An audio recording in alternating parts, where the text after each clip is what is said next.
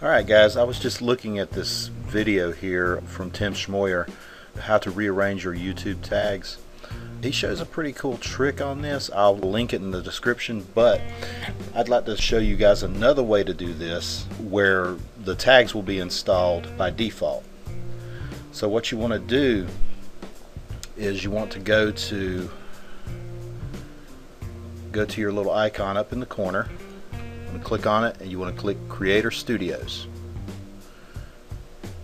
Click Creator Studio. You want to go to Channel and you want to go to Upload Defaults. And when you go to Upload Defaults, you're going to be presented with this. It's going to let you set in what type of video you have and everything. So, you know, your category, which mine is gaming, down here it gives you tags.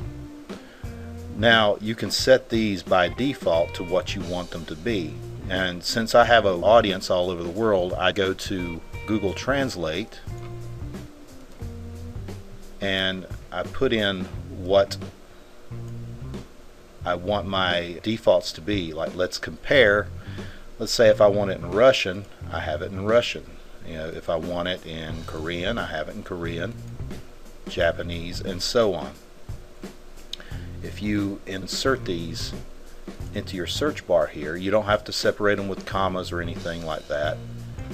It's not necessary to separate them with commas. You just space them and save it. Go up here to save.